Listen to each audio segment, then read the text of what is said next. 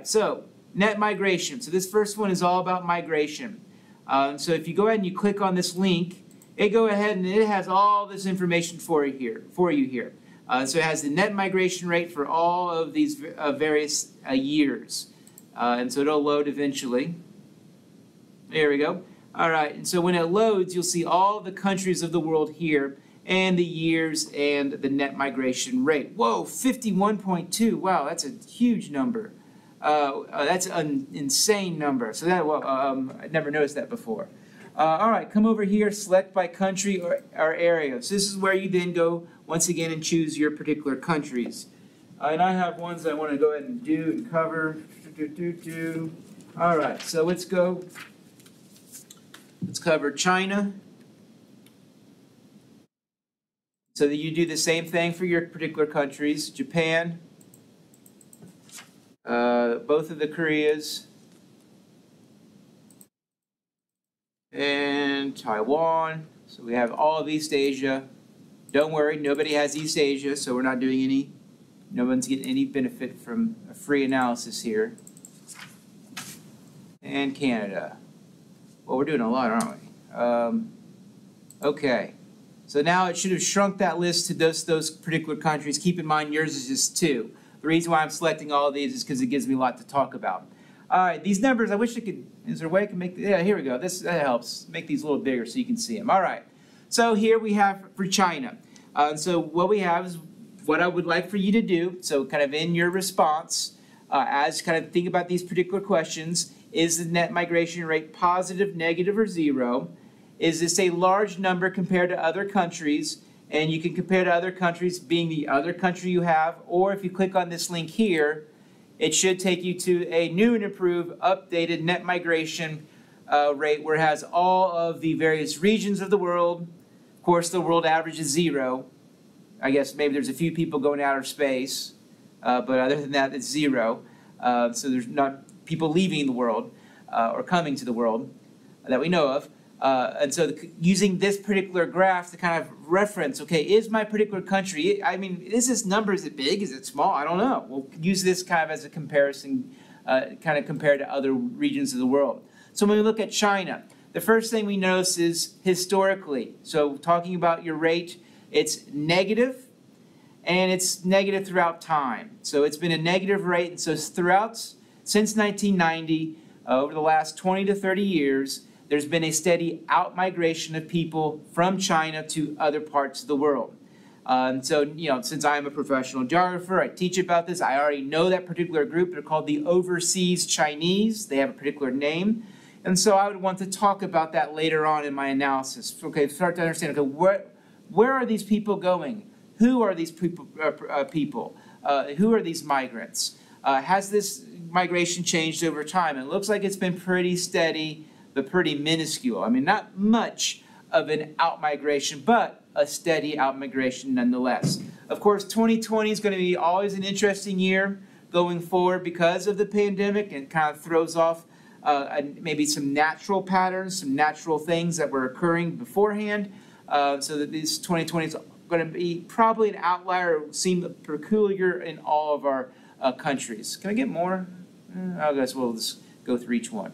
All right, so next up is Japan. And so notice here we have a positive migration rate, negative, or sorry, positive net migration rate. That means more people are coming in than leaving. And that rate's historically was minuscule, maybe a little bit, maybe, you know, zero migration rate. But notice how since 2020 and going forward, we're seeing an in migration in Japan. And knowing what I know as a professional geographer, knowing what I know about Japan, what's happening is they have a huge crisis of hardly any young people and a whole lot of old people. And so they're now wanting in migration to serve for workers, nurses, working in older age care homes, just more people just to work since there's a shortage of workers in across industries. And so in Japan, historically, they didn't want any migration. They've restricted it. And so you can see that restriction in that, that net migration rate of being zero or nearly zero. However, more recently, they've recognized a problem or concern, and that's related to a, uh, a shortage of young people in particular, working age, and they're getting that from in migration. So that in-migration, as I'll do here in a minute, we'd want to know where that in-migration's coming from, particular countries. All right, keep on continuing here. Kenya, we see a particular pattern that's going to be common in sub-Saharan African countries, but other countries that are stage two, early stage three is in migration, out migration, in migration, out migration. so you'll see a positive number, then a negative number, a positive, then a negative, and that's quite common in countries that have a lot of chaos. Sometimes they have stability in migration. Sometimes they have instability out migration, and we see that related to uh, the migration rates. So if that is your particular country, I'd want to go back and say, okay, what was going on in Kenya in the early 2000s? Well, knowing what I know, there was a civil war going on there. What was happening in 2010 for a positive in migration? The civil war was over. And so people were coming back. And so you had a return migration. And so this is how you then, you know, this use this data then to then understand and analyze patterns. Hopefully Chat GPT can't do that for you. All right, continuing on, North Korea. So here you have a peculiar, odd country in and of itself. Um, and so there they restrict migration, and the few people that do leave, uh, they are leaving and they're not coming back. And so you don't see a lot of return migration. You don't see a lot of people wanting to go to North Korea, but you don't see a lot of people being allowed into North Korea. Uh, this 1.6, what do we- what's going on there? So the, I, I don't know that. Particularly, I have to think about what's going on there. Uh, but this is kind of once again using kind of your deductive reasoning, using your critical thinking skills. If this is your country and you would see a result like this, you'd say, well, what's going on with that 1.6? Why were there people coming into North Korea uh, in 2000 or around 2000?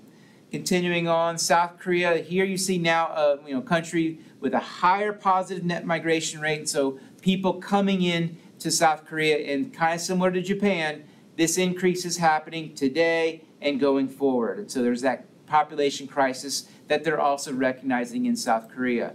Taiwan, not much population, uh, uh, not, not much out migration. Once again, a positive net migration rate that's been pretty consistently positive over time, hovering right around one.